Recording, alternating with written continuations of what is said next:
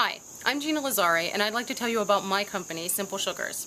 Simple Sugars manufactures all-natural skincare products, especially formulated for sensitive skin. Hi, my name is Lani Lazzari. I'm 17 years old, and I'm the CEO and president of Simple Sugars. And yes, my mom does work for me. Lani was born with eczema and has had extremely sensitive skin ever since she was born.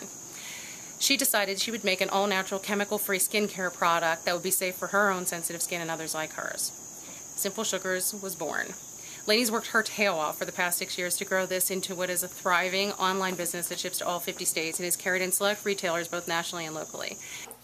I've been growing my business for the past six years and my products have been featured by top beauty magazines like Allure, Lucky, Teen Vogue, and Self, and my story has been written about in Entrepreneur and Forbes and featured on MSNBC's Your Business.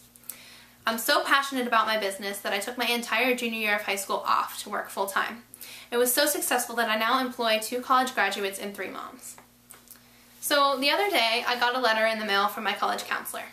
In it, she told me that the fall of my senior year was the most important time of my entire high school career. So what am I doing? Missing it all. I'm taking six weeks of my senior year off to launch the smoothest road trip ever. I'll be driving from Pittsburgh to LA and back. Be stopping in 26 cities where I'll be meeting with the media, speaking at colleges, and hopefully fitting in some homework here and there. The entire goal of this trip is to spread my message to as many girls as possible and hopefully inspire them to follow their dreams. Since I'm going to be on the road for six weeks, I'm completely dependent on technology to help me keep my business running. Without Microsoft and Dell, I would be completely lost.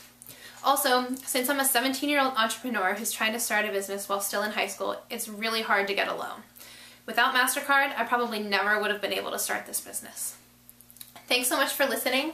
I really do think Simple Sugars is the best company in America, so I hope you'll agree with me and vote. Thanks so much. Stay smooth.